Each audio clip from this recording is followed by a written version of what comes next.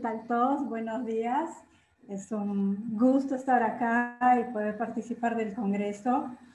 Eh, espero contribuir. Estoy participando con el Congreso desde 2009, del primero Congreso que vine a Perú. Entonces, hoy no voy a hablar como una brasileña, pero voy a hablar con una casi peruana ama la joyería peruana, que abraza la joyería peruana y que ve en la joyería peruana mucho, o sea, de verdad hay mucho que crecer. Eh, ¿Puedo empezar a compartir mi presentación entonces? Sí. Sí, Mariana, adelante.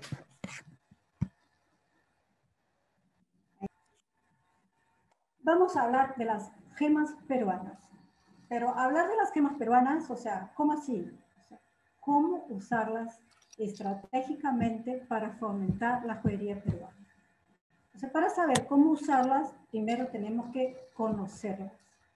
Y de, es un hecho que nadie sabe cuáles son las gemas peruanas, cuáles son las piedras peruanas. Entonces ya he dicho varias veces y vuelvo a repetir el término semi preciosa no existe. Todas las gemas son preciosas, con más valor, con menos valor, pero todas son preciosas. Y la pregunta que siempre me hacen, siempre es, ¿qué piedras hay en Perú?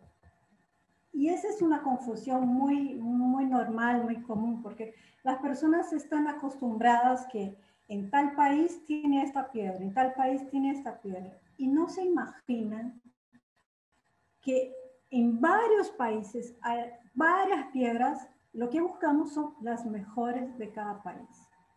Hay dos libros importantísimos y que yo recomiendo y que son obligatorios a coleccionistas de piedras, joyeros, amantes, lo que sea. Si a ti te gustan piedras y es peruano, tiene que tener estos dos libros como base. Siempre que enseño este libro a, alumnos o clientes o lo que sea, me preguntan, pero Mariana, hay un montón de piedras ahí. En Perú hay todo eso. Entonces, de ahí parto mi presentación. Hay un montón de piedras en este libro. En Perú hay todo eso. Para empezar, es obligatorio a los joyeros y los amantes de, piedras que visiten el Museo Gemológico en Perú. Yo he visitado y me quedé impresionadísima.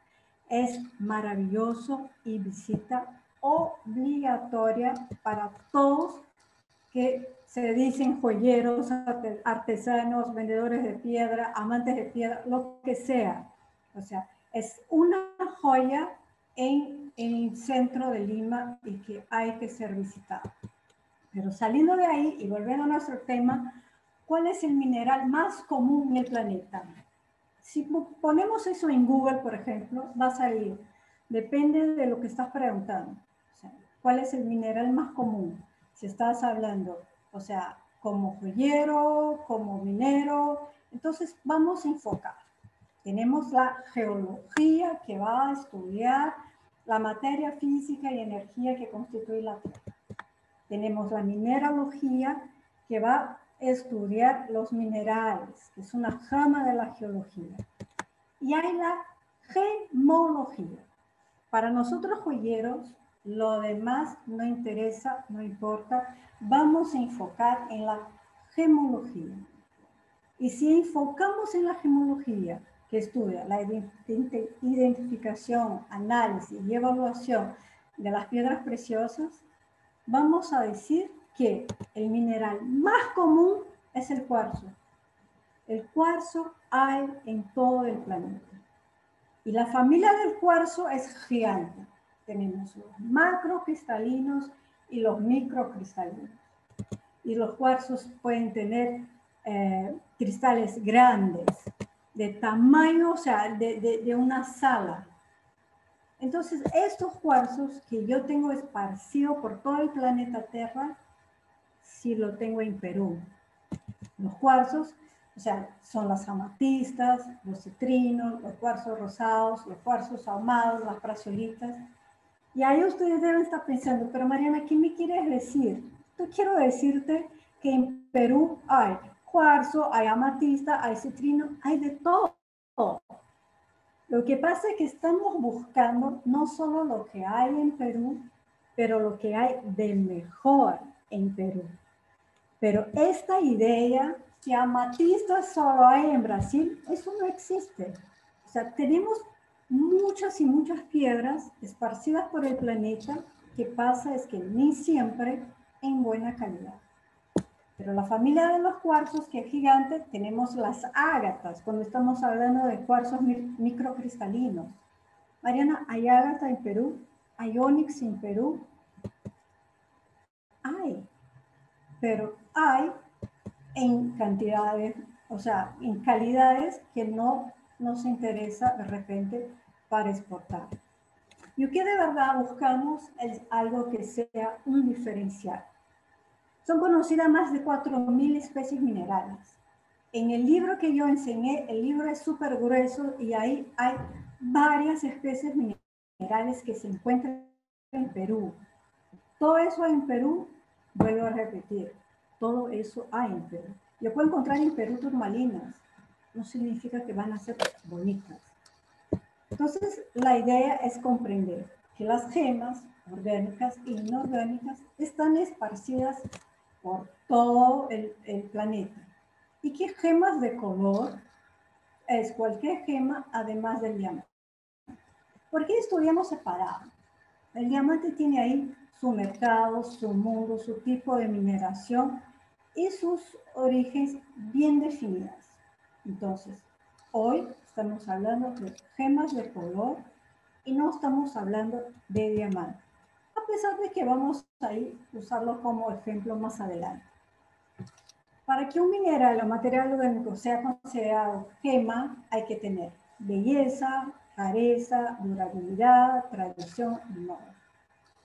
Ya expliqué eso varias veces. Cuando yo hablo de belleza, estoy hablando del color de la gema, de la transparencia de la gema. Cuando estoy hablando de rareza, cuál es la dificultad de encontrar esta eh, gema en el planeta. Y de durabilidad no es el tiempo que dura la gema. Yo estoy hablando de la resistencia que esta gema tiene al ser arreñada, chancada y torcida. De ahí viene la tradición y la moda. La tradición es lo que nos mata. Porque la tradición, o sea, en la Edad Media, solo el rey usaba diamante, las gemas eran rubí, zafro, esmeralda. Entonces, esta mentalidad medieval nos atrapaya en mucho evolucionar nuestra joyería, porque todavía pensamos que una gema, eso es preciosa, o sea, piedra preciosa es rubí, zafro, esmeralda, diamante y perla. Y eso hay que terminar. Europa ya no piensa así, Estados Unidos ya se abrió, Brasil con mucha dificultad se abrió y nosotros seguimos pensando que, ah, no es joya porque es con crisocola. O sea, esta es la principal mentalidad que hay que cambiar.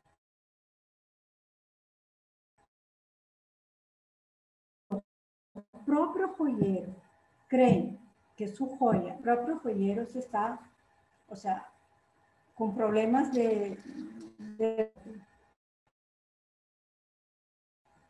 Isabel, no sé si me está escuchando, pero me apareció que yo, que mi decirme. Un, un, poquitito se te fue, eh, si podías repetir la última frase. Ok, entonces lo que tenemos que cambiar es leer nuestras piedras y sí reconocerlas como preciosas. Más importante que saber que un ópalo es un sílice amorfo hidratada es comprender que es una piedra preciosa. En el mundo de la minería, los minerales están esparcidos por todo el planeta. Los diamantes, por ejemplo, en esa dispositiva, lo que estoy enseñando es donde se puede encontrar diamante en todo el planeta. ¡Wow! Entonces el diamante no es tan raro. Claro que es raro, porque eso no significa que todos estos, donde hay color, puede tener diamantes, pero no significa que pueden tener diamantes de calidad. Entonces, para encontrar un diamante, yo tengo que minerar toneladas de tierra para encontrar un quilate, dos quilates, tres quilates de diamante. Y eso es que hace que el diamante sea raro, difícil de encontrar.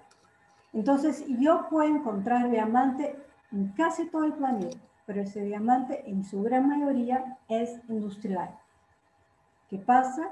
El diamante gemológico, el diamante que utilizamos en joyería, es raro y difícil de encontrar. Y eso es la misma, o sea, la, misma raciocinio para las piedras. Yo puedo encontrar cuarzos por todo el planeta Tierra, pero ¿dónde encuentro las mejores amatistas? ¿Dónde encuentro los mejores citrinos? Ahí está la rareza. Sea, no es donde puedo encontrar cuarzos, no es donde puedo encontrar citrinos, pero ¿dónde puedo encontrar los mejores? Entonces, eso es para entender que en todo el planeta hay regiones que son ricas en ciertos minerales. Y esas regiones que son ricas en estos minerales van a hacer que las variedades de las piedras sean mejores. O que va a aparecer acá una variedad de, piedra que en un otro país no va a tener. En un otro, o sea, eh, parte del planeta no voy a encontrar. Estos minerales van a crear variedades. Entonces, ¿qué es variedades? La variedad sacamos de la clasificación sistemática de las gemas. Entonces, en gemología yo uso apenas especies y variedad para hacer mi trabajo más, más fácil. Entonces, la especie es la categoría principal cuarzo es una especie. Y después, las variedades es el cuarzo morado va a ser amatista, el rosado va a ser cuarzo rosado, el amarillo va a ser citrino. Son inclusiones metálicas muy, muy pocas que llamamos elementos cromófobos que cambia el color de cristal sin cambiar la fórmula principal. Entonces, el cuarzo no deja de ser cuarzo, pero al tener una inclusión mínima de hierro, va a cambiar de color y se va a transformar en un citrino, por ejemplo. Pero eso no cambia la forma. La fórmula del cristal sigue el mismo. Entonces, en cada región del planeta yo tengo una concentración de minerales diferentes y donde hay esta concentración, yo voy a tener variedades diferentes. Así yo comprendo por qué yo encuentro diferentes colores y diferentes variedades en cada parte del mundo. Pero el cuarzo, sí, lo tengo en todo el planeta. En Perú tengo muchas y muchas variedades de especies, pero ¿cuál de ellas están en buenas calidades para usarla en joyería competitivamente. O sea, que yo voy a tener buenas piedras para hacer buenas joyas. Este mapa, por ejemplo, enseña dónde yo puedo encontrar esmeraldas. ¡Wow! Pero hay esmeralda en todo el planeta. Pero paremos a pensar. Cuando uno piensa en esmeralda, ¿qué país le viene a la cabeza? Esmeralda, Colombia. Colombia es sinónimo de esmeralda y esmeralda es sinónimo de Colombia. Ahí está. Lo que quiero decir que nadie va a Colombia sin comprar una esmeralda. Se va por luna de miel, por viaje con amigas por lo que sea un viaje de trabajo a Colombia, sea en el centro de, de, piedras, sea en una tienda chiquichita más sencilla o una feria superficie, no hay una sola persona que se va a Colombia y sale del país con esmeralda. Porque cuando compras el billete, o sea, el ticket aéreo, ya está pensando que, uy, me voy a Colombia, me compro una esmeralda. Es una conexión automática. Y eso es tan bien trabajado en la cabeza de las personas que todos, sean joyeros, sean turistas, sean lo que sea, todos vuelven de, Colombia con una esmeralda. Brasil.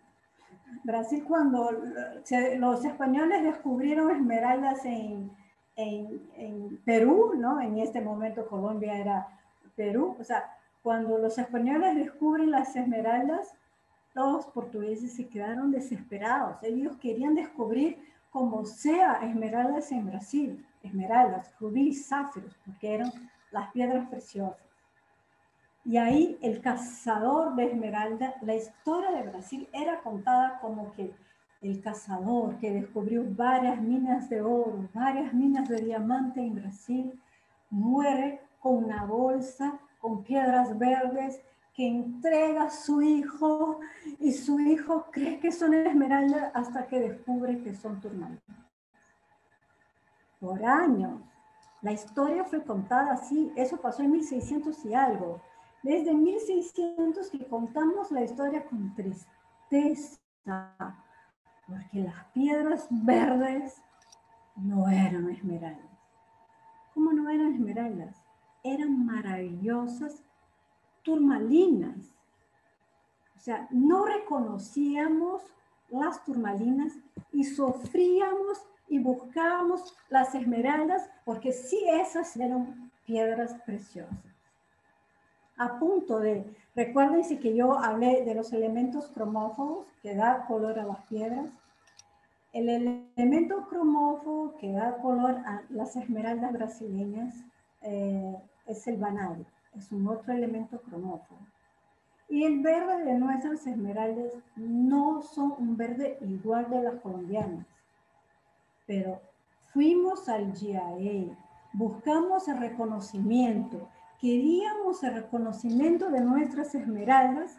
¿Por qué? Porque en la mentalidad medieval que todavía tenemos, esmeralda sí es una piedra preciosa. Entonces hubo todo un movimiento en, lograr reconocer las esmeraldas brasileñas, porque tenía un elemento cromófobo diferente, pero sí era un berilo, sí era un berilo verde, eran esmeraldas. ¿Por qué? Porque mantenemos eso. Esmeralda sí es una piedra preciosa. Y esto es una pérdida de tiempo y de reconocimiento del propio valor que tenemos en nuestras piedras. Tenemos piedras maravillosas, que no son semipreciosas, que sí son preciosas y que era necesario que reconocerlas. Y hay mucha gente, como yo soy brasileña, mucha gente me pregunta, mira, Hester es de verdad importante. ¿Cuál es la importancia de Hester en Brasil? ¿Por qué Hester es tan importante? Yo no sé si H. es tan importante la joyería, pero este señor, el señor Hans, es un hombre de suma importancia en la joyería brasileña. ¿Y por qué? Porque él fue el primero a reconocer las piedras brasileñas, a decir que las piedras brasileñas eran preciosas y después de él nosotros reconocemos, valoramos y ganamos mundo. ¿Pero ustedes creen que fue fácil? No. Si un Hans empieza en la década de 50, el brasileño solo va a reconocer las piedras brasileñas como preciosas, década de 80, 90. Hasta entonces el señor Hans vendía en 50 países diferentes, o sea, varios países diferentes, y nosotros todavía no comprábamos las piedras o no dábamos el valor que tenían las piedras.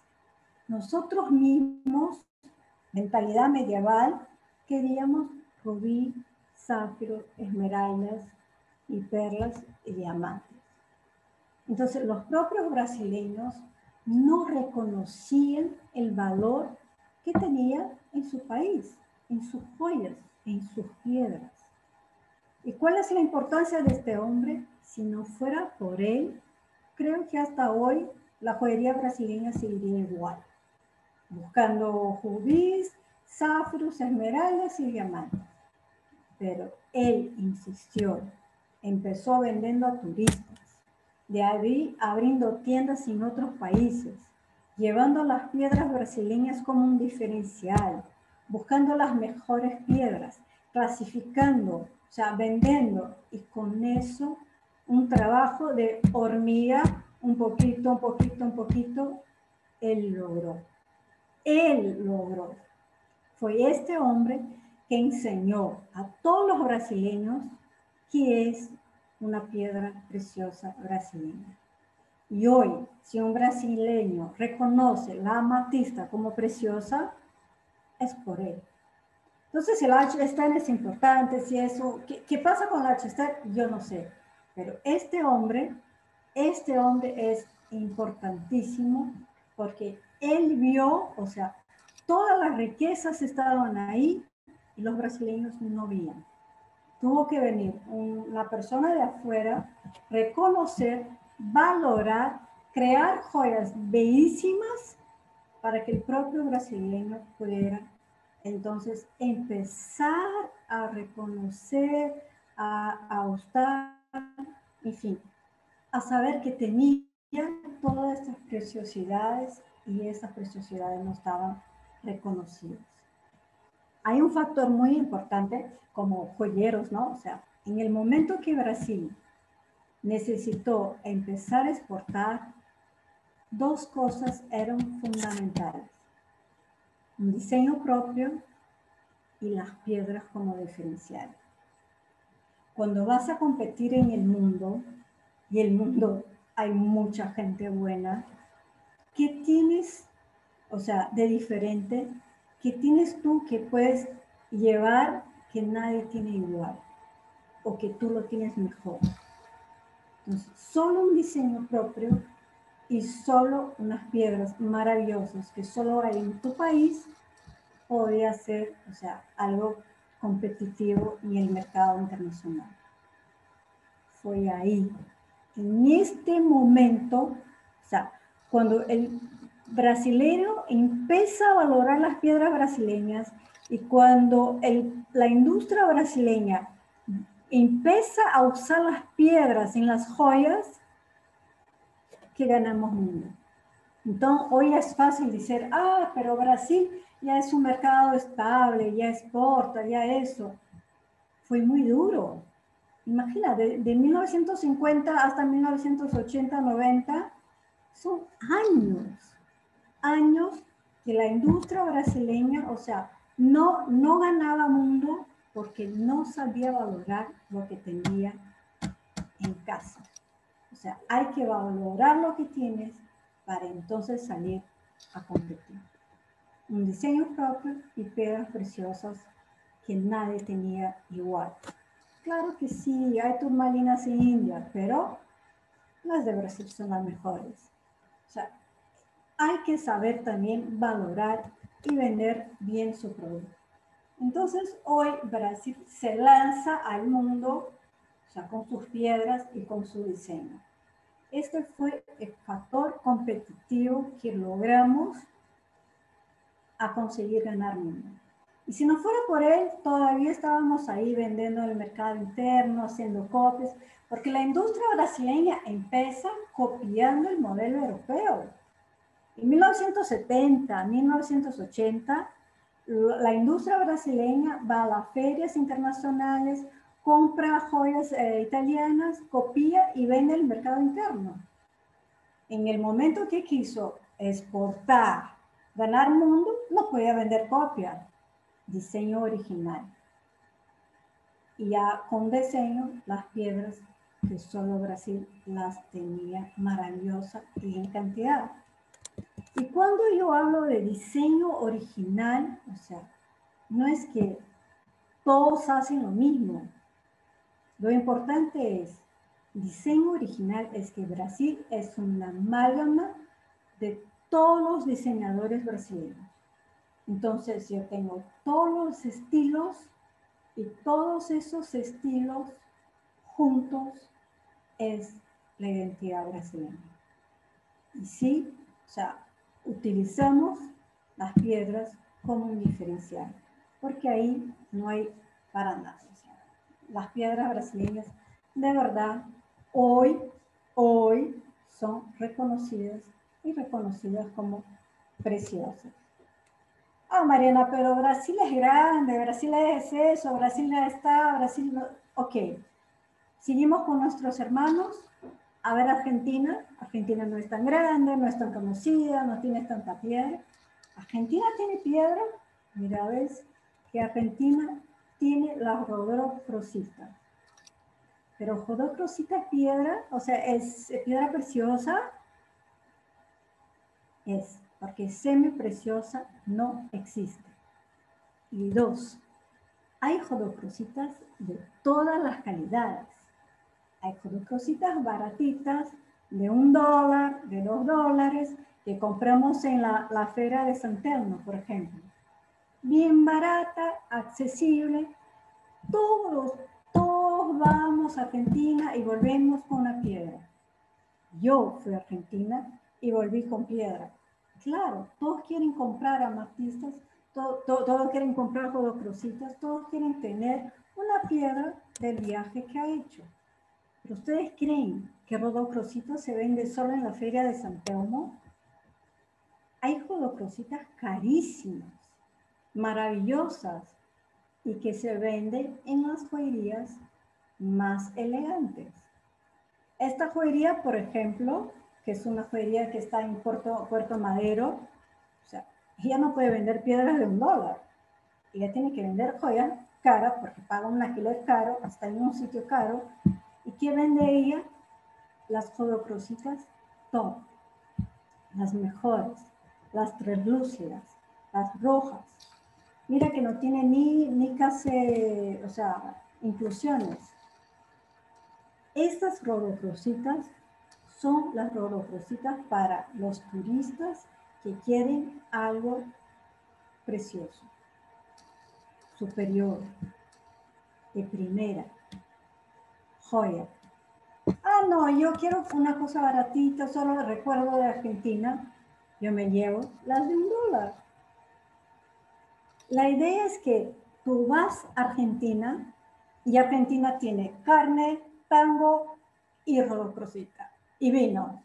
O sea, tú sales de Argentina feliz porque has comido rico, has tomado buen vino y, de, y te llevas una joya con una piedra de Argentina. Entonces, mira, aquí la idea es que no hay que o sea, buscar la más cara, ah, Mariana, pero yo quiero hacer algo sencillo, ah, no, que yo soy en el mercado Inca, ah, yo estoy en Jockey Plaza. Hay para todos. La idea es justamente esa. Los argentinos son perfectos y en Brasil igual, o sea, hay las piedras baratitas y hay las más caras. Entonces, yo voy a Argentina, sé que la piedra de Argentina es la cosita y me compro una, sea de un dólar o de tres mil dólares el quilate. Hay para todos. Entonces, esta es la propuesta y es lo que tenemos que empezar a hacer con Perú. Tener efectivamente nuestras piedras y saber cómo utilizarlas. Porque la pregunta es, ok, Mariana, hablaste de Brasil, hablaste de Argentina, ah, Colombia y Perú. De verdad, Perú estamos bien atrasados, ¿ah? ya deberíamos estar valorando nuestras piedras y todavía no hemos hecho nada. Pero hay piedras en Perú. Sí, hay piedras en Perú. Como he dicho el libro, hay un montón de piedras en Perú. Pero, ¿qué piedras en Perú podemos utilizar como bandera, como piedras peruanas. Piedras que en Perú hay o solo hay en Perú o en esta calidad maravillosa solo hay en Perú. Los ópalos. Los ópalos azules que se llaman ópalo, ópalo andino, Peruvian opals, sea como sea, son las piedras que en Perú hay en calidades maravillosas, que solo hay en Perú. Hay un poquitín en otros países, pero como en Perú no hay.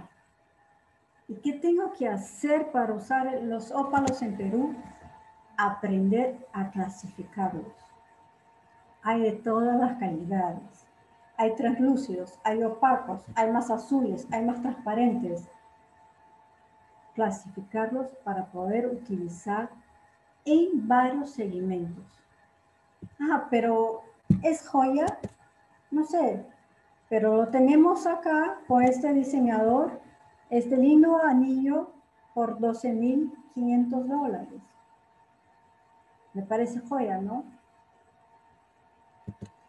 Este lindo arete, 9.950 pounds, o sea, Y, te pregunto, mm, ¿es joya o no es joya? Está en oro de 8 quilates con touch de diamantes, pero la piedra principal de esta joya, ¿qué es? Es un ópalo que el mundo ya lo reconoce como piedra preciosa y que los, los peruanos todavía no. Mira este, sencillo, pero igual 6 mil euros. Entonces sí que son preciosos, ¿no? O sea, porque como eh, latinos americanos o sudamericanos tenemos la mal costumbre de cuando los de afuera reconocen, recién nosotros damos valor. Ya, ya podemos valorar porque afuera ya están reconocidos y afuera ya son considerados joyas, ya son consideradas gemas, ya son consideradas piedras preciosas. ¿Qué falta? Falta que nosotros mismos sepamos reconocer. Tenemos los ópalos rosados. Los ópalos rosados igual, hay calidades. Hay diferentes calidades de ópalos hay más opacos, más translúcidos, más rosados, o pero igual son joyas a 22 mil dólares. O sea, comprende que el mundo ya reconoció las piedras peruanas. Nosotros todavía estamos buscando rubíes, zafiros y esmeraldas.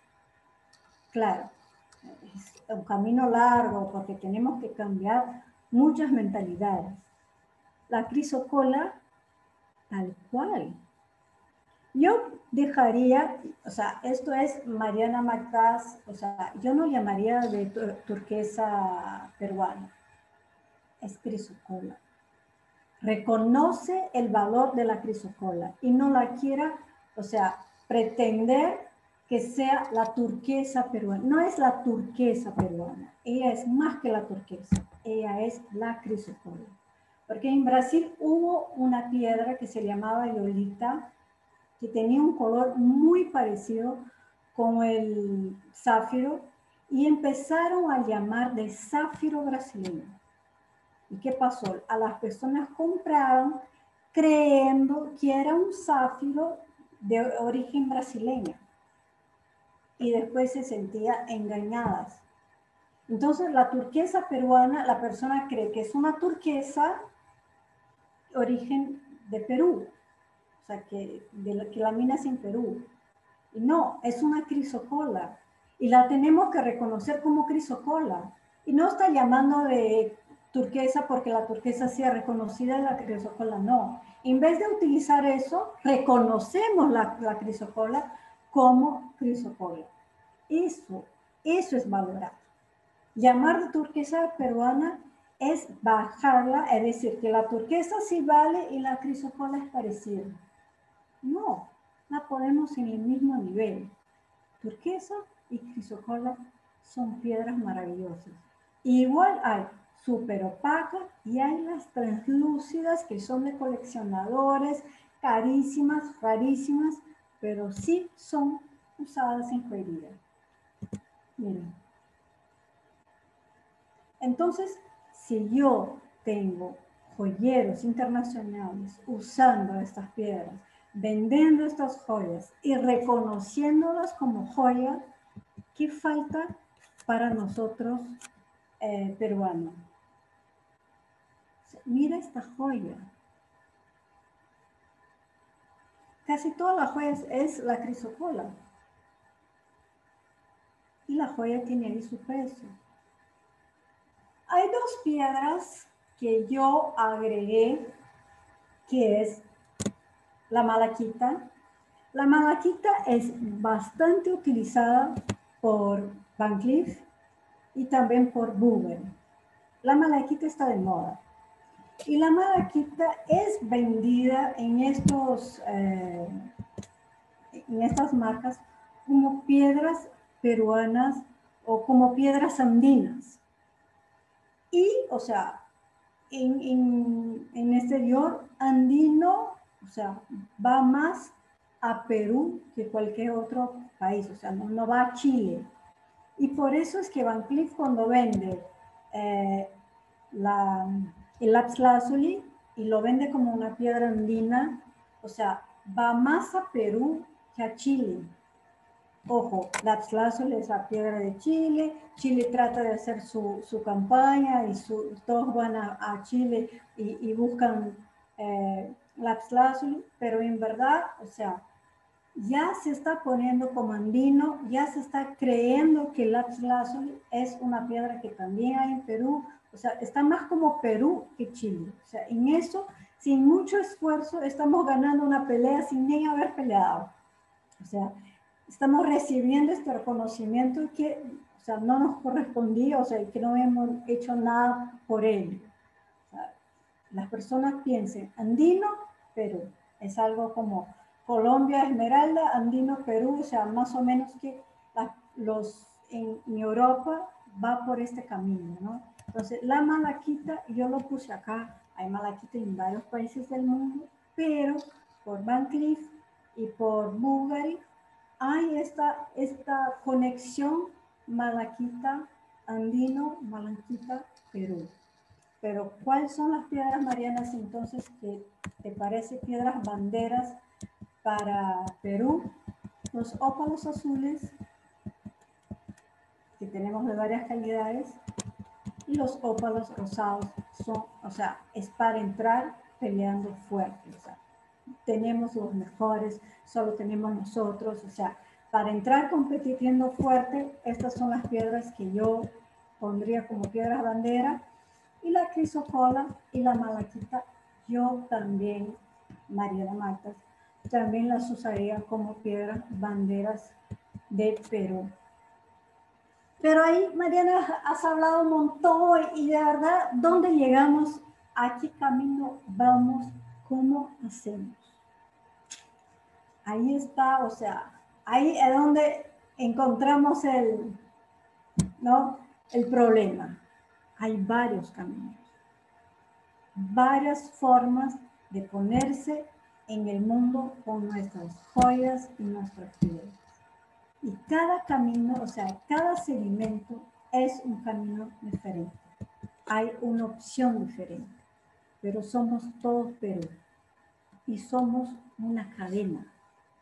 O sea, desde el minero que, que saca la piedra de, de, la tierra hasta el final, el que vende la joyería más cara o la más barata o el mercado inca o lo que sea, todos somos Perú todos somos parte de la misma cadena. Tenemos que tener en cuenta la misma mentalidad. Reconocer las piedras como preciosas. Reconocer que hay diferentes calidades, diferentes precios. Porque hoy están mirando la presentación, yo enseñé joyas de 20 mil dólares, pero ahora enseño una de 100 dólares.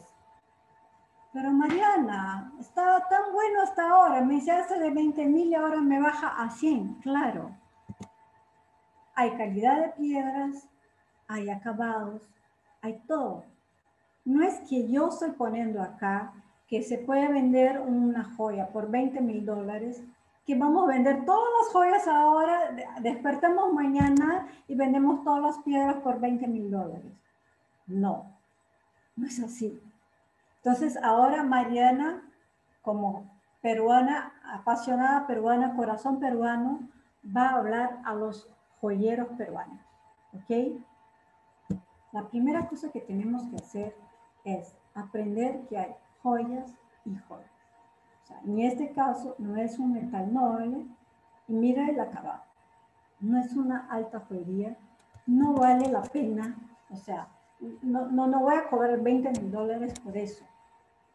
Entonces, el vendedor de piedra, las piedras tienen un precio internacional. Ah, pero ahora todos están buscando ópalos. Si los vendedores de piedra de Perú empiezan a vender los ópalos súper caros porque los, los joyeros peruanos están empezando a buscar, la cadena se va a romper. Ustedes no pueden porque, o sea, si no trabajamos todos juntos, la cadena se rompe. Y hay precios internacionales. Lo que los joyeros van a hacer es no comprar las piedras en Perú y van a ferias internacionales y compran las piedras allá. Eso pasó en Brasil un montón. ¿ah? Muchos brasileños, o sea, empezaron a subir los precios de las piedras y los joyeros brasileños, no, hay problema. Nos vamos a las ferias internacionales y compramos ahí. Porque al final sale bruto, se la pide allá y, se compra allá. Entonces hay que ser inteligente. Entonces hay tiendas y tiendas y precio para todos. Los que venden piedra van a seguir vendiendo por el mismo precio, pero ese es injusto, no es injusto. Ustedes no vendían nada, van a empezar a vender más. Y los joyeros van a empezar a comprar y fabricar joyas para, para, para vender sus joyas con estas piedras. Turistas, no podemos maltratar a los turistas. El turista tiene que ser abrazado, acogido, protegido, para que el turista sepa yo me fui a Perú y ahí en Perú he comprado las piedras directo de la fuente con buen precio y buena calidad. Es muy malo tratar, o sea, se ve que, que la persona está hablando en inglés y el precio dobla. Esto no puede ser, porque este turista, si él es engañado, si él es maltratado, él no va a decir, a sus amigos en su, en su país. Juanito me engañó y me vendió la piedra cara. Él va a decir, en Perú te vende la piedra cara, no lo compres. O sea, lo que el Juanito hizo, todos los peruanos van a pagar. Somos una cadena. Y como cadena tenemos que pensar, conforme actuamos, todos crecemos o todos nos hundimos. Entonces, la honestidad tiene que ser en todos los segmentos. Los vendedores de piedra pueden tener un precio un poco más caro para consumidor final y para turista. Y lo que hacen normalmente en los países es a los joyeros le dan un descuento.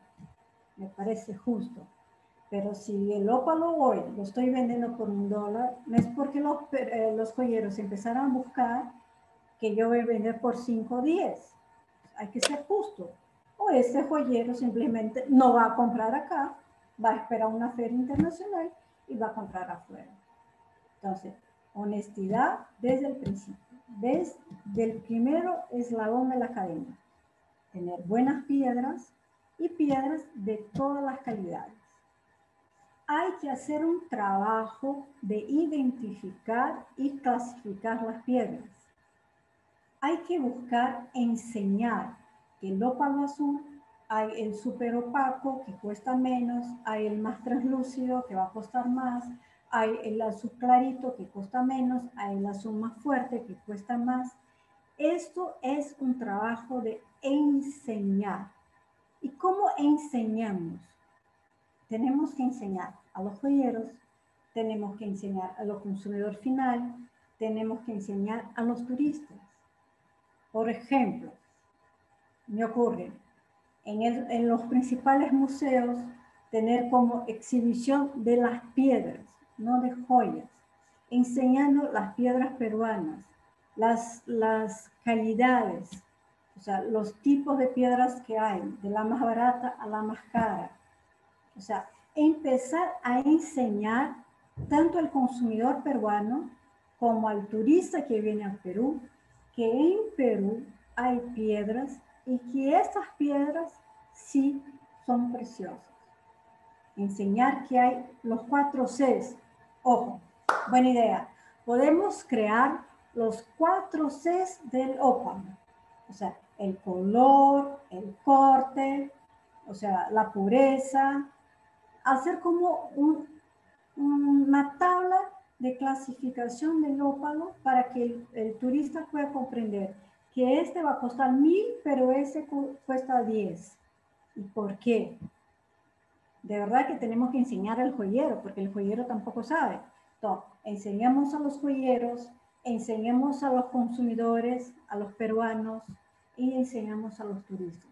Esta es una forma muy buena de empezar a valorar y hacer conocidas nuestras. Pero ojo, hacer conocida acá, porque afuera y mismo que todos lo conocen. Pero si el, turista viene y aprende, o sea, sabe que hay más barata, sabe que hay más cara, porque hay que tener para todos los bolsillos. O sea, el, el que vende la piedra de un dólar va a vender 10 mil por, por mes. El que vende la piedra de 10 mil dólares va a vender una por mes. Pero hay mercado para todos. Y el turista tiene que poder comprar, como en Argentina. O sea, si quieres comprar una, una rodoprosita de un dólar, hay. Si quieres comprar una de 3 mil dólares, hay. Y eso tenemos que enseñar. Tenemos que entender por qué este ópalo vale más que este. Entonces, propuesta, empezar a efectivamente conocer las piedras. ¿Esto puede ser online? No. Infelizmente no puede ser online. Tenemos que eh, manipular, ver, conocer, o sea, poder ver las, las piedras como son para poder, o sea, después elegir cuál voy a comprar y cuánto quiero gastar. De ahí los joyeros. Hay joyerías de todos los precios. Volvemos a usar a la H. Stern como ejemplo de Brasil, que así no me comprometo con un peruano. H. Stern hace eventos sofisticadísimos. Eso es una página web, una persona subió esas fotos. Tú vas a comprar una joya en H. Stern, te sirven champán, café italiano, o sea, galletitas especiales, claro que te va a costar más caro. O sea, te venden toda una experiencia. Pero en Brasil, por ejemplo, hay una calle que es una calle donde hay varias joyerías baratas. Te atiende parado, no te dan champán, el café es de hoy. ¿Ustedes saben qué es un café de hoy? Es el café que la chica eh, hizo a las 8 de la mañana pone un termo gigante y las 5 de la tarde todavía lo toma el mismo café.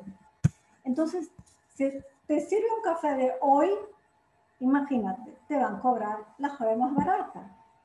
Entonces, hay joyería para todos los gustos, para todos los mercados. Yo voy a hacer joyas de ópalo, de 100 dólares, de 500, de 1000, de 10 mil, de 20 mil. Yo tengo todo este mercado no es que todos vamos a mañana, mañana amanecer y empezar a vender joyas de 20 mil dólares. No es eso. Ahí está, ahí está donde empezamos a bater cabeza y no llegamos en un sitio. ¿Cuál es tu seguimiento? ¿Cómo es la cadena en Perú? Ah, yo soy una joyería más barata, yo soy una joyería barata direccionada a turista. yo soy una joyería de lujo direccionada al mercado interno, yo soy una joyería de lujo direccionada a exportar. O sea, ¿cuál es tu seguimiento? De acuerdo con tu seguimiento, son las piedras que vas a comprar, en las joyas que vas a hacer, y el diseño, y el nombre, y la marca. Claro, o sea, cuando tú tienes una marca fuerte, cuando tú eres reconocida internacionalmente o reconocida nacionalmente, tienes un precio diferenciado. Pero construir una marca es carísimo. A veces, o sea, yo he dado clase toda mi vida y veo muchos joyeros que miran, o sea, no, porque tal, tal marca vende súper caro. Pero ¿cuánto gastó esta marca para llegar donde llegó? Y para mantenerse en este parón súper caro. O sea, ¿cuántas joyerías tú llegas y te sirven un champán? Este champán está en el precio de la joya. Ahora, no pretendas tú, o sea, con una joyería simple, o sea, sin servir champán en un sitio más sencillo, querer vender por el mismo precio. Entonces, eso es, o sea, no podemos competir entre nosotros. Tenemos que crecer juntos, cada uno en su segmento y crecer. Para exportar, igual. Hay, o sea, podemos exportar productos carísimos como podemos exportar productos más baratos. Hay para todos los bolsillos en el mundo. O sea, no tenemos que ser todos iguales. Ah, pero Mariana enseñó unos aretes de 20 mil dólares y yo quiero vender los aretes de 20 mil dólares. Ya, regio. Pero abrir tu marca, hacer una marca, ser reconocida a punto de vender un arete de 20 mil dólares, te va a costar. ¿eh? O sea, y sé, pero si es esto que quiere, ya, perfecto. Pero si tú tienes un seguimiento de una joyería más barata, en que puedes usar los ópalos más baratos, ya, es tu seguimiento.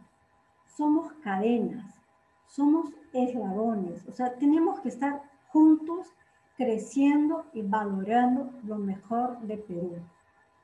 Ese es lo más importante.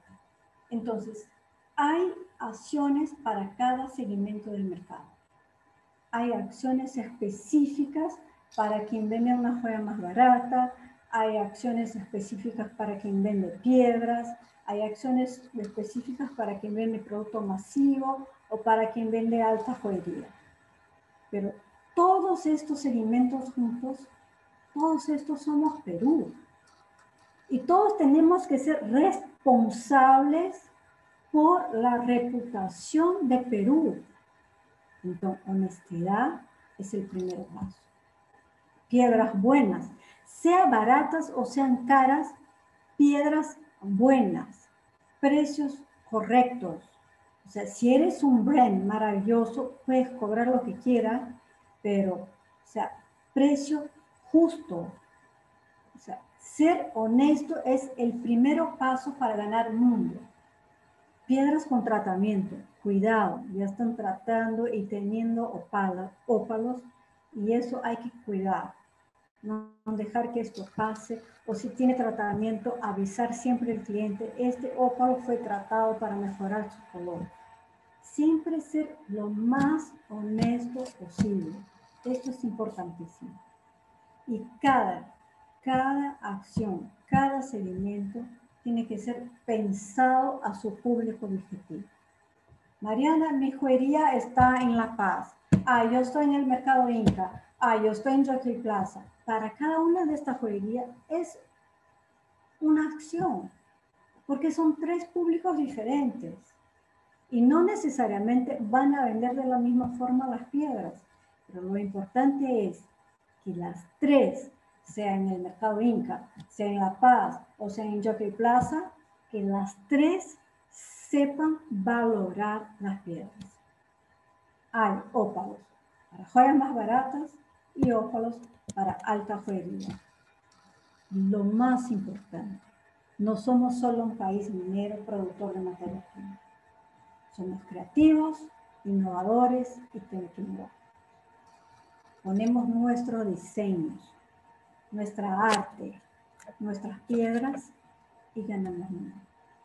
Hoy las piedras salen brutas en containers para ser talladas afuera y, después los joyeros las compran afuera y nosotros somos como productores de materia prima, única y exclusivamente.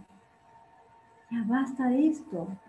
Ya es momento de aprender, o sea, a, a valorar nosotros internamente lo que tenemos. Lo que pasó con Brasil en la década del 90, o sea, cuando el brasileño, cuando la industria brasileña, y fue como al mismo tiempo, la industria brasileña necesitaba exportar y el consumidor brasileño empezó a reconocer las piedras brasileñas como preciosas, ahí sí ganamos mundo. Entonces, ¿cuál es el camino? ¿Cuál es la forma de, de ganar? O sea, un diseño propio. Un diseño propio no significa que todas las joyerías van a estar haciendo lo mismo. Cada diseñador con su propio diseño, juntos seamos Perú. Valorando las piedras peruanas. Ah, Mariana, pero mis joyas son de, de plata, yo trabajo con filigrana y yo no uso piedras peruanas para nada. No hay problema. O sea, no estoy diciendo aquí que todos los joyeros peruanos tienen que estar usando las piedras peruanas. No. Otra vez, somos todos Perú. Y por sermos todos Perú tenemos que tener mucha variación, tenemos que tener de todo.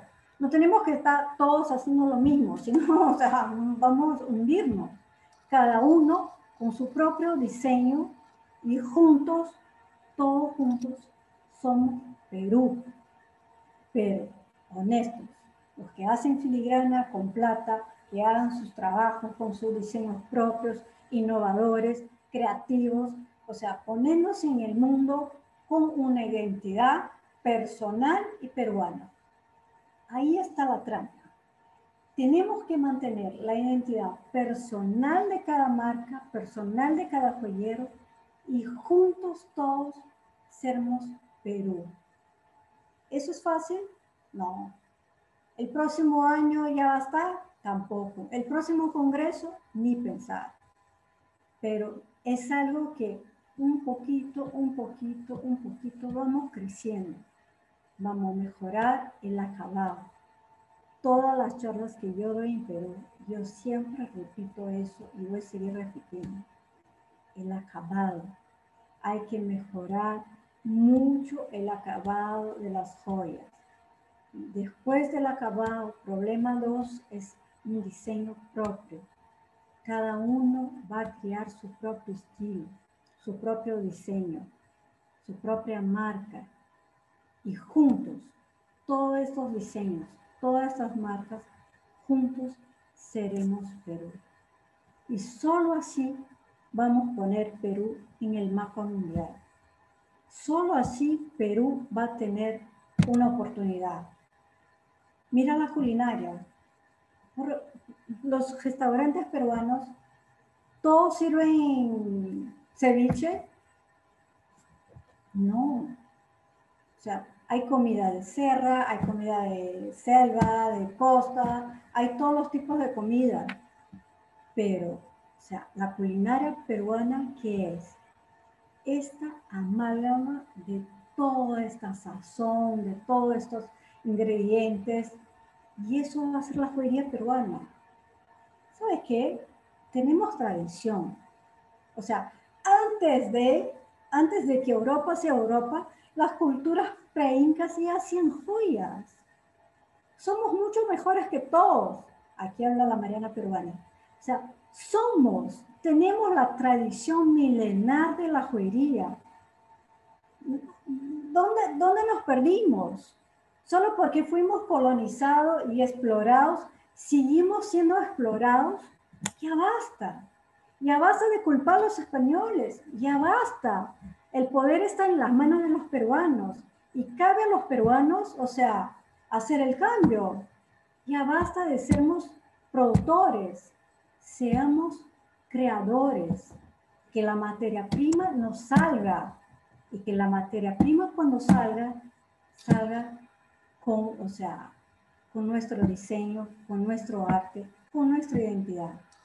O sea, que salga como joya y que salga, salga reconocida como peruana. Entonces, yo sé que no es fácil, yo sé que va a demorar, pero si no empezamos, si no hacemos un trabajo, trabajo de hormiga, todo, o sea, un poquito, un poquito, y siempre con consistencia, no vamos a llegar a ningún lado. Entonces, resumiendo todo lo que he dicho es, somos una cadena. Hay los que vienen de piedra, los que mineran las piedras, los que vienen de las piedras, los joyeros. En varios segmentos tenemos varios, porque tenemos nichos más baratos, masivos, o sea, alta joyería. Todos estos segmentos tienen que trabajar para hacer llegar, llegar al mundo nuestras joyas. Y un consejo, empiece en casa. Tenemos que enseñar los peruanos que los ópalos son piedras preciosas, porque el consumidor peruano, clase media alta o clase media, lo que sea, para, ello, para ellos preciosa es rubí, zafiro, esmeralda y perla, diamante. Entonces, cambiamos en la casa. ¿Cómo hizo HST? Las joyas participaban de novelas. En la novela, la mujer decía, ¡ay, qué lindo eh, qué linda matista tienes! Era una inserción chiquita y una novela de las ocho y ya, la palabra amatista ya estaba en la cabeza de las personas. Hay que juntarnos, hay que ver acciones, hay que enseñar. No hay otro camino que no sea enseñar tenemos que enseñar a nuestros consumidores, a los peruanos primero y después al mundo, que nuestras piedras sí son preciosas. Y después que nosotros peruanos tenemos una identidad propia y hacemos joyas con categoría internacional. Entonces, eso es lo que he venido a hablar eh, y compartir con ustedes como amante de Perú, o sea, yo amo a Perú, amo las piedras peruanas. Desde 2009, la primera vez que he puesto mi pie en Perú, me llamó la atención de que los peruanos no reconocían, no compraban, no tenían sus joyas las piedras peruanas. He enseñado que el camino es duro, es largo, pero exitoso. Si todos juntos logramos, o sea, hacer que Perú sea reconocido por sus piedras y por su diseño, lograremos a poner Perú en el mapa. Eso es lo que quería decir. Excelente, Mariana. Realmente muchísimas gracias. has, has, trabajado tu exposición en dos aspectos, ¿no? Una parte muy importante que es el conocimiento, ese, ese aporte a primero saber diferenciar que no existen las piedras semipreciosas, sino que todas son preciosas, y además todos esos conceptos eh, de lo que significa eh, la diferenciación, la estrategia, la calidad, la belleza y la eh, grande potencialidad que tiene nuestro país, ¿no? que no somos solo un país minero, pero además otra parte importante que has hecho en tu, en tu presentación, y eso yo lo quería señalar, es esa pasión, ese reconocimiento que tú ya hace 11 años vienes trabajando en Perú por lo nuestro. Creo que ahí nos estás lanzando a nosotros los peruanos ese gran reto, ese gran reto que planteas en tu exposición, que es el de creérnosla, el de saber y el de culturizar y el de enseñar que tenemos piedras preciosas, valiosas, que hay que comenzar a ponerlas en valor.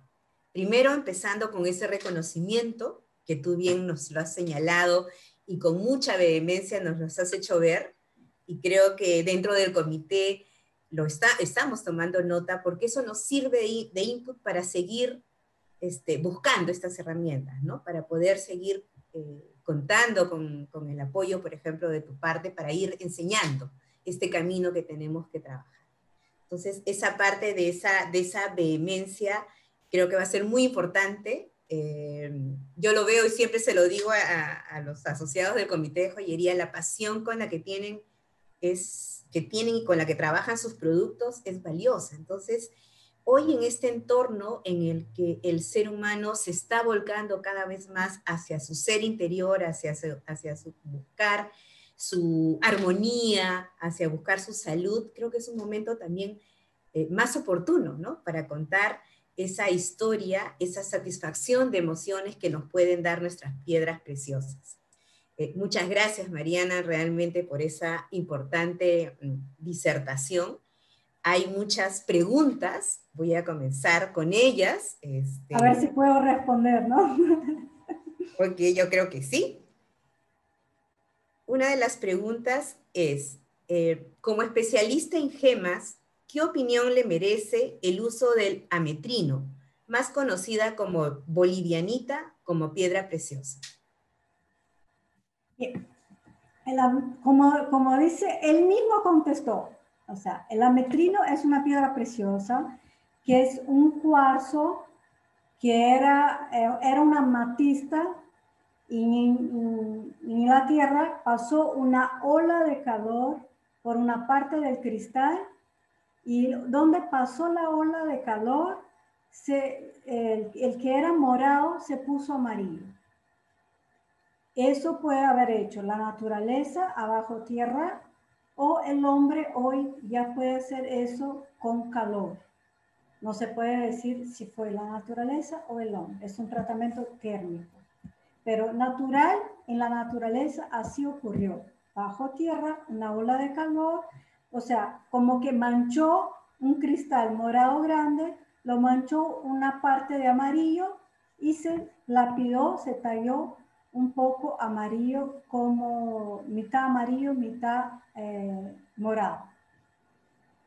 Es una piedra preciosa, es maravillosa, la tengo, me gusta, pero estamos, ah, o sea, la exponencia hoy es sobre piedras peruanas. ¿Puedo usar en mi joyería peruana? Sí puedes, claro que puede, puede usar la piedra que quiera, pero él mismo me dijo, la bolivianita. Al hacer eso, yo estoy vendiendo una piedra de Bolivia, yo no estoy vendiendo una piedra peruana. Entonces, mira cómo es el marketing, la forma de vender la piedra. O sea, ¿Por qué se llama bolivianita? Porque se ocurrió las primeras fuentes donde se encontró por primera vez fue en Bolivia. Y ya se creó la conexión de que el ametrino es la bolivianita, la piedra de Bolivia. Entonces, se lo usa en joyería. Claro, es una piedra preciosa, es maravillosa. O sea, las grandes joyerías del mundo la usa y la usa como piedra preciosa la, recomiendo un montón, pero estás usando una piedra bolivianita, o sea, boliviana. Gracias, Mariana. Eh, en, tu, en tu opinión, eh, ¿la pirita en el sector de joyería es considerada una piedra preciosa? El tema con la pirita, o sea, cuando, ¿cómo es una piedra preciosa? Tiene que tener belleza, rareza, durabilidad, tradición y moda. Y la, la pirita, o sea, se usa, ya se está usando en joyería, en joyería conceptual, en joyas de autor, pero no es, o sea, no está clasificada como las más valoradas para joyería. Entonces, es una joya que usamos más o menos en bruto, tiene en forma cuadrada, en forma de cubo perfecto, y sí se puede usar en joyería, pero no está como las más, las más valoradas porque el color, o sea, no hay un diferencial de color muy grande, no hay un diferencial de, ella no, no existe transparente, translúcida, opaca, no, ella es metálica y de una sola forma. ¿Se puede usar en joyería? Sí puede. Hay un montón de diseñadores que lo usan, pero más siempre fruta en, su, forma de cubo. Perfecto. Hablando de la estrategia y de las piedras bandera que nos sugeriste como para empezar nuestro camino de diferenciación, hay una pregunta referente al ópalo andino azul, rosado, crisocola y malaquita. ¿Cuál es el precio internacional de estas piedras? Yo no tengo aquí la tabela, pero depende de la calidad. Eso es lo que yo he dicho que es muy importante.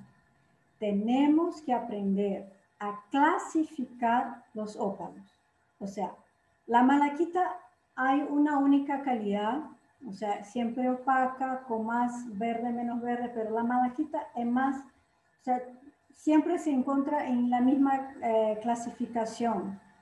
Pero los ópalos, eh, yo tengo opacos, tengo translúcidos, tengo azul súper clarito, tengo un azul más oscuro y eso va a cambiar el precio. Entonces, lo que tenemos que hacer es primero aprender a clasificar los ópalos. Sugerencia, no sé, hacer como en el Museo Gemológico de Perú, de repente tener ahí varias calidades para saber cómo clasificarlas. ¿Y cuál es el precio del mercado? O sea, el mercado mantiene el precio mundial. Vas a la feria en Estados Unidos, en Hong Kong, o sea, el precio es el mismo de las piedras, o sea, dependiendo de la calidad. Yo no puedo decir que son dos dólares el quilate, porque el ópalo yo tengo de un dólar y tengo de cinco mil dólares, si es el azul translúcido maravilloso, súper raro. Entonces hay que ver qué calidad estamos hablando y ahí sí, o sea, más o menos todo el, venden el mismo precio.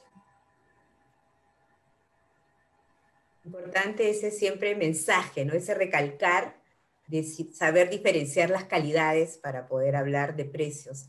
Y sobre todo ese mensaje importante que nos has dado de la segmentación.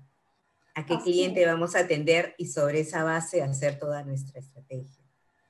Eh, otra pregunta, Mariana, dice, ¿cuáles son las principales tendencias en gemas preciosas en joyería? Mira, los joyeros eh, brasileños empezaron a pelear con la moda diciendo, no, la joyería está más allá de la moda, nosotros somos eternos, la joya que se compra hoy se puede regalar a su nieta, a su bisnieta pero sí que la moda influye porque las personas empiezan a buscar más piedra, o sea, tal piedra se pone de moda, se pone cada vez más cara, hasta que la moda pasa y vuelve al precio normal. Entonces, la moda hoy es la moda coronavirus. o sea, es, difícil, saber qué, qué, en qué moda estamos pero las personas están buscando entender lo que está pasando en su vida. Esa es la verdad. Entonces, como gemóloga, las personas me preguntan, Mariana, ¿las piedras tienen poder? ¿Cómo gemóloga yo no puedo contestar eso? O sea, eso, eso es esotérico. Pero sí hay un jale, no sé si puedo decir así, o sea, hay una búsqueda por las piedras que tenga un poder, que tenga un significado, que tenga un porqué. En el mercado del lujo, o sea, el propósito hoy es lo más fuerte de todo. Ah, o sea, hay dos cosas que podemos utilizar en el mercado de lujo en esta charla. Primero, decimos en mercado de lujo que si el consumidor te crees que tu producto es caro, es porque tú no has sabido enseñarlo bien. Porque si tú sabes enseñar qué, es tu producto, el consumidor paga. Eso es una verdad en el mercado de lujo así principal. Porque en el mercado de lujo vendemos cosas, o sea, no necesarias. O sea, uno puede vivir sin. Y si lo compra, lo compra porque. Y si reconoce el precio, reconoce porque comprendió tu producto. Eso es lo que tenemos que enseñar. Que nuestras piedras son que pueden valer tanto, ¿no? Y dos, es el mundo de hoy, mis hijos son milenios, yo los llamo milenios aburridos, porque son unos pesados. pero hay que reconocer y comprender que el mundo futuro pertenece a ellos y que los milenios están buscando propósito. Todo tiene un propósito. En design decíamos que era forma, función. Hoy en design decimos forma, función, propósito y valor. Si estamos buscando propósito y valor, o sea, las piedras y las joyas tienen que tener un propósito y un valor. Entonces, yo creo, opinión personal de Mariana Mactaz, yo creo que el mundo va a caminar por buscar piedras y diseños y joyas con propósitos y con valor. Y eso la piedra tiene esta, trae eso. Entonces una matista que te va a hacer una conexión con tu propio yo y te va a llevar a un, o sea, a un estado de meditación o de búsqueda. Todo eso te va a ayudar. Y eso creo que es la tendencia post-coronavirus. Mi opinión personal. Sí, muchas gracias, Mariana. Eh, en el caso del mercado internacional, eh, en cuanto a la joyería peruana, a su calidad y diseño, eh, ¿qué les recomendaría el joyero y orfebre peruano para ser más competitivos a nivel internacional y cómo nos están siendo vistos en los mercados internacionales? A ver, o sea, primera cosa, tenemos que mejorar nuestro producto. Y mejorar producto significa mejorar mano de obra, mejorar acabado y mejorar diseño. Yo en estos años he visto una, o sea, una búsqueda por mejorar el diseño cuando el acabado todavía estaba muy mal. O sea, vamos a competir internacionalmente. Cuando hablamos de joyero, sea peruano, argentino, brasileño, eh, no sé, español, de qué país sea, trabajamos con ego. Entonces todos creen que porque su mamá dijo que sus joyas son maravillosas, que tiene un producto increíble y maravilloso y que van a exportar y vender a todos. Sin Facebook, yo acompaño a todos mis alumnas de Brasil, de varios países, y veo alumnas que tienen un acabado muy malo, pero que sus amigas abajo de las fotos ponen, ¡ay, qué linda joya! Eres maravillosa, eres lo máximo. Y ellas creen. Entonces, hay que tener la humildad de aceptar una crítica. Una vez una alumna mía, que era una señora, que su marido era el hombre más rico de la región, ella hacía clases de joyería menos de un año me enseñó sus joyas y me dijo, quiero exportar. Yo dije, mira, para exportar tiene que mejorar mucho. Pero yo hice un té con mis amigas y he vendido todo. Y mis amigas me dijeron que eran maravillosas. Yo dije, bien, pero tu marido es el hombre más rico de la región. Todas quieren ser tus amigas. Y tus amigas son tus amigas. El día que venda a un enemigo, ahí sí que eres buena. Entonces, trabajar con este ego, o sea, de los joyeros, decirle, mira, esto está mal, y el joyero aceptar es muy difícil. Entonces, con mucho amor y mucho cariño, los joyeros peruanos, argentinos, mexicanos, eh, españoles, de donde sea, o sea, quiere exportar, mejorar producto y mejorar diseño. es, es clave, es inicial. Lo malo es que las personas creen en los amigos, no creen en tus amigos. amigos, por favor, sean sinceros. Amor no tiene nada que ver con mercado. Gracias, Mariana. Sí, efectivamente, hay que reconocer y pasar las pruebas duras, ¿no? el, cliente real, él nos dirá si estamos por buen camino o no. Otra pregunta eh, que es, bueno, bastante importante, Mariana, ya que has estado comentando todo sobre, las, sobre nuestras piedras preciosas. En el país es muy difícil adquirir los ópalos rosados y andinos, de buena calidad y con certificado. La mayor parte es vendida directamente al extranjero. ¿Conoce dónde se pueden certificar y comprar ópalos, asimismo crisocolas y malaquitas?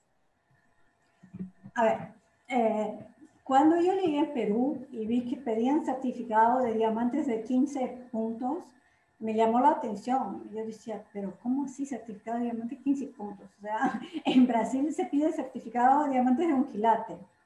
Y ahí vi que los peruanos sí, o sea, le gusta tener este certificado. Ópalos certificados, yo nunca he visto, o sea, nunca he comprado. Lo que tienes que tener son proveedores de calidad y proveedores confiables.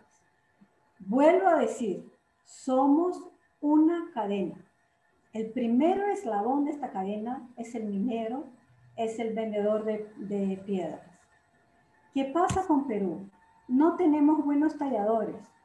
¿Por qué no tenemos buenos talladores? Porque no hay un mercado. O sea, no hay consumidores.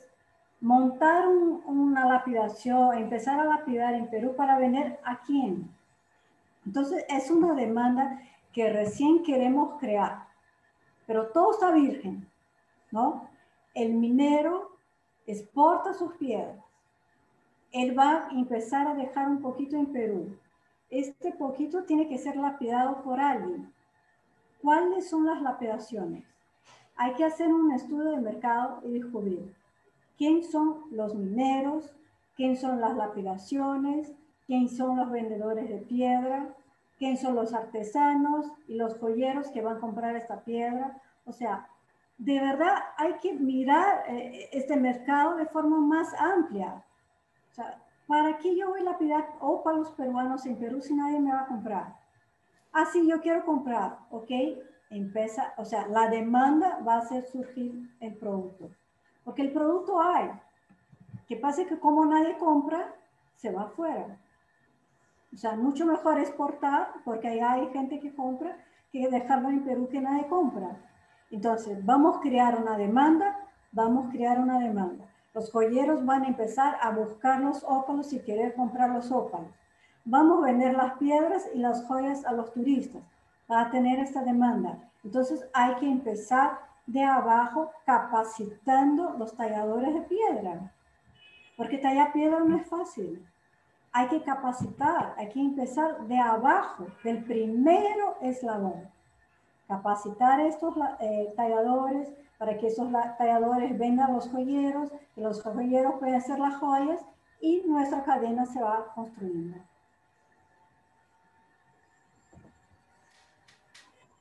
Muchas gracias, Mariana. Eh, esto que comentas realmente es una eh, dificultad ¿no? muy fuerte para darle esa, esa propuesta pero no se preocupen, señores participantes, que el día jueves les traeremos unas muy buenas noticias porque el Comité de Joyería, eh, como bien comentaba Mariana, nos fue comentando ya hace un tiempo de esta necesidad y el comité ha ido trabajando en cómo generar una estrategia para este desarrollo de piedras preciosas. Así que el día jueves les, les tendremos muy buenas noticias que es, creo que va, a marcar el inicio de ese desarrollo, de esa generación de demanda y de oferta que tanto se necesita para darle un mayor valor agregado a nuestra joyería.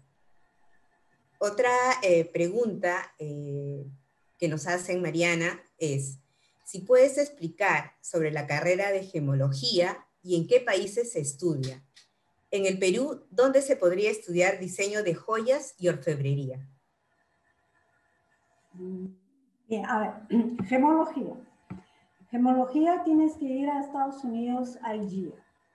Puedes estudiar eh, por, ¿cómo se dice? Por, eh, no es online. O sea, te envían los, los primeros estudios, estudias en tu país por correo y después se va a Estados Unidos y te quedas una semana en el laboratorio y vas haciendo las pruebas y todos los exámenes en Estados Unidos.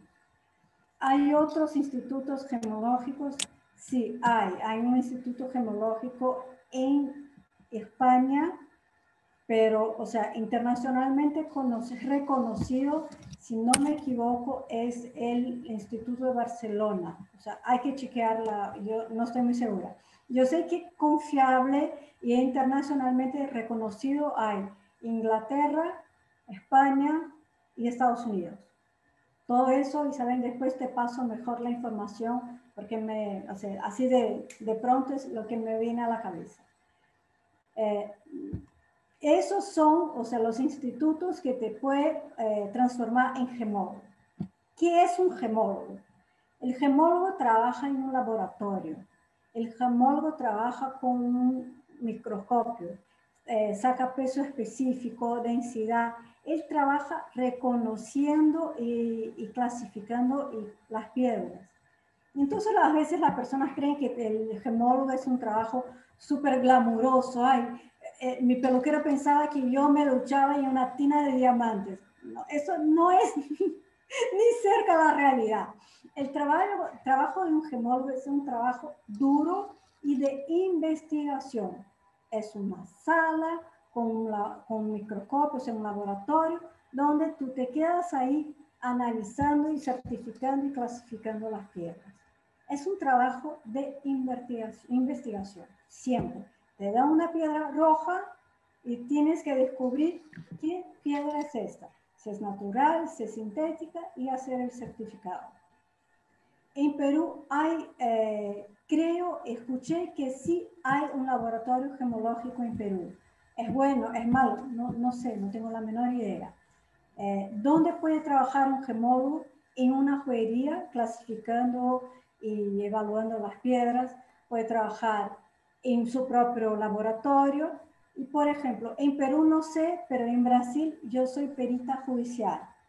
Entonces no sé si en Perú también hay esta posibilidad, porque en Brasil puedes pagar deudas con dinero, con propiedad y, va de ahí con piedras preciosas. O sea, judicialmente reconocido como una forma de pago. ¿Y dónde puedes estudiar la carrera de diseño de joyas? Hace poco, yo sé que Senate sí lo tiene. No sé cómo es, cómo se escribe, pero si no me equivoco, hay en Senati y hay en Corihuasi, en Cajamarca. Si las otras escuelas particulares tienen, no, no sé, de verdad que estoy un poco alejada de esto, pero podríamos buscar y enviar esta información después, ¿no? O sea, de verdad, así de pronto me ocurre Corihuase y Senati. Perfecto, Mariana. Sí, estamos tomando nota de las preguntas que se nos puedan quedar para poderlas absolver posteriormente. Y también aquellas personas que han manifestado su inquietud por las presentaciones, estas las vamos a, están siendo grabadas y que las vamos a poder compartir. Eh, otra, otra pregunta, Mariana, eh, que bueno, ya viene desde tu opinión personal. Eh, dice, ¿cuál es tu visión acerca del estado actual del mercado de joyería con piedras preciosas? Compleja la pregunta, no, no muy, no muy directa. ¿Cuál es mi, mi, visión con las piedras preciosas? Exacto. ¿qué quiso preguntar la persona? Mira, entonces voy, voy a contestar lo que yo comprendí, porque está muy amplia la pregunta. De verdad que es es mundial, o sea, esta mentalidad cuadrada, medieval, de que rubí, zafra, esmeralda, diamantes y perlas son preciosos. Eso hay que cambiar. Como veo el mundo, el mundo se está cambiando. Yo entro en la joyería en la década de 90, fines de la década de 90, y yo vi, sea, este cambio muy fuerte en Brasil, y, o sea, empecé a ver en Europa y Estados Unidos cada vez más fuerte este, o sea, aceptando las piedras preciosas, todas como preciosas. Entonces, yo veo que eso es algo que, que ya está establecido. O sea, son pocas sociedades en el mundo que siguen con la mentalidad medieval. O sea, gente que viaja, que tiene una mente más abierta, que está más, eh, que conoce diseño, que conoce todo, o sea, ya está valorando y respetando y comprando y valorando las piedras preciosas. Y las piedras preciosas sí son todas. O sea, semi preciosa no existe. Y la mentalidad medieval, o sea, es un reto mundial. Ya basta. se acabó. No existe. Záfiros son lindos y maravillosos, pero no son los únicos preciosos. Así de frente. Gracias, Mariana. Aquí hay una pregunta también bien interesante. La joyería llamada minimalista viene pisando fuerte en todos los foros de joyería, bloggers de moda o nuevas colecciones de marcas de lujo y no de tan lujo. ¿En qué está afectando esta tendencia al sector de las piedras? Otra vez, hablando de los segmentos. Hay joyeros de todos los. Hay joyas de arte, por ejemplo, que usa papel. Papel. No ni oro, ni piedra, ni plata, papel. Y es joya, y es reconocida como joya, puede costar un collar de papel 20 mil dólares. Son segmentos. O sea, son, ¿qué, ¿qué segmento es el tuyo? ¿Qué nicho de mercado se va? Y para entrar en un nicho hay que conocerlo bien y saber cómo llegar a su público objetivo. ¿Cómo eso altera la joyería? Es una más. Y todo eso es bueno, todo eso contribuye. Es lo que digo siempre. No es porque he hecho una charla sobre piedras peruanas que mañana todos los joyeros de Perú tienen que estar haciendo joyas con piedras peruanas. Para nada. Cada uno tiene que tener su propia identidad. Ah, Mariana, yo uso plata y no quiero usar piedra. Lindo, eres parte de. O sea, el que solo hace plata, el que solo hace diamante, el que solo hace... O sea, todos juntos somos Perú. Y cada uno tiene que tener su identidad. Que aparezca uno que hace joya con tela, agrega. Es uno más y es bueno. O sea, no, no, las personas tienen miedo, o sea, ah, porque ahora están diciendo que papel es joya. ¿Cómo así? ¿Está desvalorando las piedras? No, es un otro seguimiento, seguimiento de arte. ¿Y qué va a agregar? O sea, todo agrega. O sea, hay que dejar de tener miedo. Las personas tienen miedo de competencia. No puede tener miedo. Cada uno tiene su mercado, su nicho, su consumidor hay que hacer su producto de la mejor forma posible y dejar de estar mirando lo que hace otro, si el otro está vendiendo, no está vendiendo, a quién está vendiendo. Haz lo tuyo y hazlo bien. Gracias, Mariana. Otra pregunta dice, para determinar el precio de las piedras peruanas, entonces necesitaríamos una evaluación gemológica. ¿Qué factores se toman en cuenta? color, transparencia, dureza. ¿Qué más? ¿Quién puede evaluarlas en Perú? Mira, si estamos hablando de ópalos, todos los ópalos tienen la misma dureza, ¿no? Entonces, de ahí salimos, o sea, ópalos. ¿Cómo clasificamos los ópalos? Ópalos, yo sé, los azules, por ejemplo, yo tengo ópalos que están bien opacos y unos más translúcidos. Después yo tengo ópalos con inclusiones. Yo tengo ópalos con eh, matriz, o sea, con, con la, la, roca matriz. Todo eso, o sea, yo clasifico, pongo las calidades una al lado de la otra y tengo la más barata y la más cara. ¿Dónde cuál es la más cara? La que está más translúcida y más azul. Entonces, ¿quién puede hacer eso? Es puede ser un, grupo de joyeros, gemólogos y, vendedores de piedras y mineros. Hacer un comité simple de 10 personas que pueda hacer eso, o sea, que los mineros estén participando, que los vendedores de piedra, un joyero, un gemólogo, juntar este grupo y hacer una, una tabla de precios. En Brasil el Instituto Brasileño de Gemas y Metales contrata un gemólogo, el señor Walter Leite. Messi sí sigue vivo, o sea, hace muchos años que no lo fue mi profesor. Es, o sea, importa. En Brasil tuvimos el Rui Rivero que es considerado el padre de la gemología en Brasil, y el segundo es el profesor Bauter, y ahí el resto de, los gemólogos brasileños. El profesor Bauter tenía ahí su, su, importancia, o sea, muy reconocido, muy importante en todo el mundo, o sea, en gemología. Y el profesor Bauter era el responsable por el Instituto Brasileño de Gemas y Metales en hacer un, era como un, un, catálogo de precios, o, o, sea, que todas las piedras más o menos tenía que, eh, que tener, o sea, en bruto y, y lapidado. Y donde él hacía los estudios para sacar el precio de las piedras.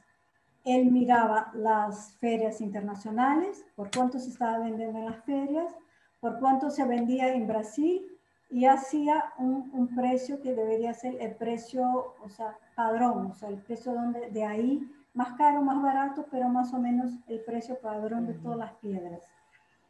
Este, creo que el último que salió fue en 2000 y algo. Yo no estoy acompañando, no sé si el Instituto Brasileño hizo otros, pero siempre salía y todos más o menos trabajábamos con esta lista de precios y él consultaba las ferias, los productores y ferias, productores y vendedores de piedras. Muchas gracias, Mariana. Vamos con las dos últimas preguntas, porque hay otras que ya son, que han sido respondidas durante tus, explicaciones. Em, nos preguntan, te preguntan, mejor dicho, tú eres la experta, ¿cuál es la diferencia del ametrino con el citrino? El citrino los dos son cuarzos. El citrino es la variedad de cuarzo amarilla, el todo amarillo, citrino. Pero si este cuarzo está mitad amarillo, mitad morado, es ametrino. Ahora, si este mismo cuarzo está todo morado, es una amatista. Pero los dos son cuarzo. Lo que cambia es el elemento cromófono, o sea, el color. El color en gemología me crea una variedad diferente, pero la fórmula química y la estructura cristalográfica es la misma, estamos hablando de un cuarzo. Interesante, Mariana. Eh, hay otra pregunta que me pareció interesante, que acaba de llegar ahorita. Eh, dice, cuando una piedra es opaca, digamos, esmeraldas o zafiros, ¿dejan de ser preciosas? No, no, no, no, no, no, no, no, no, de ninguna forma. Sospechaba tu respuesta, pero quería que lo reconfirmaras. lo que sí vale menos. O sea, hay piedras que yo solo encuentro en la naturaleza opaca. La malaquita. La malaquita tiene su precio, ahí está. Pero las piedras que yo encuentro opaca y translúcidas, porque difícilmente lo va a encontrar eh, transparentes. Las piedras, conforme se va quedando más translúcidas, más caras son. Por ejemplo, hay una, una piedra que sí tengo opaca, translúcida y transparente. La agua marina. La agua marina, si está transparente, vale más. Si está translúcida, menos. Si está opaca, mucho menos. Entonces, las ahí, o sea, yo no, no puedo solo clasificar si está transparente, opaco y translúcido. Yo tengo que clasificar transparente, opaco, translúcido y también el color, el tono de azul. Entonces, una translúcida con un azul maravilloso puede valer más que una transparente con un azul muy bajo. Pero Mariana, has dicho que la transparente vale más. Sí, pero el color es más importante que la transparencia. Entonces el color está maravilloso, yo tengo que clasificar todo eso. Transparencia y color. Donde el color vale 50%, la transparencia va a valer 30% y ahí la combinación es que me da el precio de la piedra final. Otra pregunta, Mariana dice, en el Perú, un artesano peruano para tallar una piedra lo hace a mano y es imperfecto. y se demora más tiempo y es por ello que el precio es mayor que el de los chinos. Ellos lo hacen todo a máquina y lo hacen perfecto. ¿De qué manera podemos competir con los chinos? Competir con China es una pregunta que el mundo todo quería dar respuesta. Todo el planeta está, ¿qué hacemos con los chinos? Bien, vamos por partes. O sea, que es hecho a mano no significa que es mal tallado. Las piedras son talladas a mano en todo el mundo. O sea, las máquinas, hay, hay máquinas, pero si vas a la ciudad de Teófilo Toni o Gobernador Valadares en Brasil, vas a ver que en todas las casas hay talladores, lapidadores que están ahí tallando a la mano. ¿Qué hay que tener? Una buena máquina. Una vez una joyera peruana investió un montón de plata y una máquina que no era para producción, que eran las máquinas de lapidación de lap arte de Brasil. Estas máquinas son para hobby, entonces, cuando producía en cantidad, las máquinas empezaban a no producir buenas piedras. Entonces, a la mano, sí, o sea, el proceso sigue siendo a la mano. Hay máquinas, sí, hay máquinas, pero no es así. O sea, hay buenas piedras talladas a mano desde que la máquina sea buena.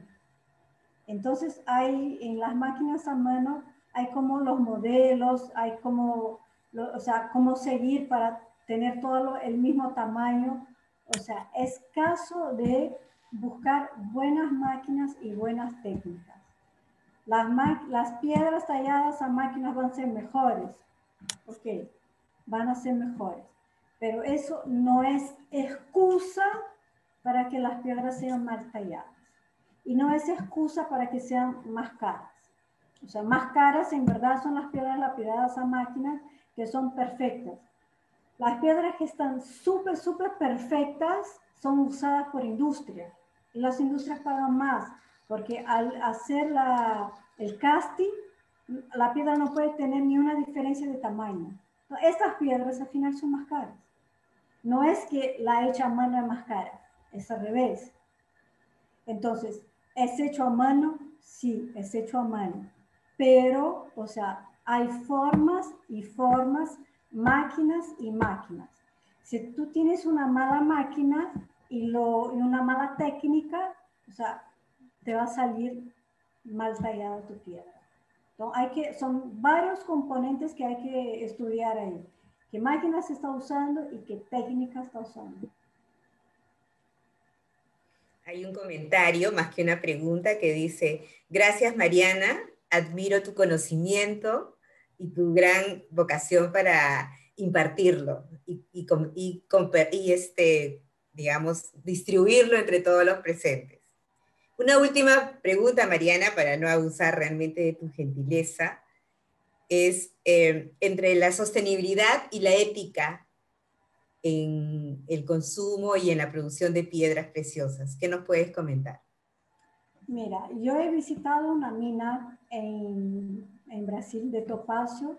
Hay una piedra que solo hay en Brasil que se llama el topacio imperial, que es una piedra maravillosa, lindísima. Yo visité una mina con responsabilidad social y responsabilidad con la naturaleza. Es importantísimo. O sea, los milenios, los pesados, ellos, o sea, están súper preocupados con el, o sea, la, el control de la naturaleza, el cuidado con la naturaleza. Y esta mina, o sea, salió desde el inicio diciendo, sí vamos a minerar, pero vamos a minerar con el cuidado de después reconstruir todo lo que hemos destruido. Entonces, las minas hoy tienen que tener responsabilidad social y responsabilidad con la naturaleza ya no se puede tener trabajo esclavo. El joyero tiene que saber de qué mina está comprando, de dónde viene tu piedra. O sea, muchos europeos están buscando oro, o sea, oro de minas formalizadas, de minas que no tienen trabajo esclavo. O sea, hay una búsqueda en todo el planeta por piedras y oro y plata eh, sostenibles, socialmente responsables, o sea, y esto es importantísimo. Si enseñamos al mundo que acá en Perú mineramos con responsabilidad, con cuidado a la, naturaleza, que sí, o sea, tenemos que cavar, pero que después reconstruimos y, y, recuperamos la tierra, esto es enseñar ética y sostenibilidad. O sea, no tener trabajo esclavo, no tener abuso, o sea, todo eso es lo que crece, o sea, que hace crecer nuestra cadena, nos hace responsables. Trabajamos con algo que destruye la naturaleza si lo permitimos. O sea, si, reconstruimos lo que destruimos y si lo hacemos algo por el planeta, estamos haciendo nuestra parte. Esta, esta es la llave. O tenemos que minerar, tenemos que minerar. La pregunta es, ¿cómo vamos a recompensar el planeta por la mineración que estamos haciendo? Así de simple. Interesante, Mariana, realmente, y muy reflexiva, ¿no? Sobre todo muy reflexiva de cara a, nuestros cambios importantes que se están dando a nivel mundial y ese reconocimiento de la preservación del medio ambiente fundamental. Eh, la verdad que hay tres preguntas relacionadas con este tema. Esto sí, prometo que sea la última, pero creo que vale, vale la, pena. Eh, preguntan, eh, ¿la piedra de Huamanga cómo se considera? ¿Una piedra preciosa? No, no, porque ella no tiene, no es un cristal. O sea, no, no, no tiene los cinco atributos, belleza, realidad, durabilidad, tradición y moda. Y ella no es un cristal utilizado en joyería, utilizado en adorno. Ella es, es una gema de, ¿cómo? En Brasil tiene un término para eso. Que ahora me, como gema de adorno, eh, algo así sería la traducción, pero no, no, me recuerdo la palabra, pero no. ¿Podemos usarla en joyería? Sí se puede, o sea, ella todavía gemológicamente no está incluida por no contener los cinco atributos. Si no hay los cinco atributos, no la consideremos piedra preciosa. Ojo, no estoy diciendo que no es linda, ¿ah? yo la amo, la adoro, pero hay que tener los cinco atributos. Muchas gracias, Mariana. Realmente interesante. Creo que nos vamos con muchísimos conocimientos, con muchas inquietudes, además, eh, con esa predisposición a aceptar ese reto de conocer, de valorar y de, y de realmente utilizar nuestras piedras preciosas y poderlas tecnificar. Te agradecemos nuevamente en nombre del Comité de Joyería de ADEX por tu excelente presentación y realmente me gustaría cerrar con este tema que nos dejaste al final de, de tu presentación. No somos solo un país minero productor de materias primas, somos creativos, innovadores y tecnológicos. Juntos sí podemos. Muchas gracias, Mariana. Muchas gracias por realmente por darnos esa, esa fuerza y seguir manteniéndonos en el hecho de que juntos podemos, que somos parte de esa cadena que tú también nos las has hecho, nos has hecho ver, así que apuntamos a ese trabajo en toda la parte de la cadena. Muchas gracias Mariana nuevamente.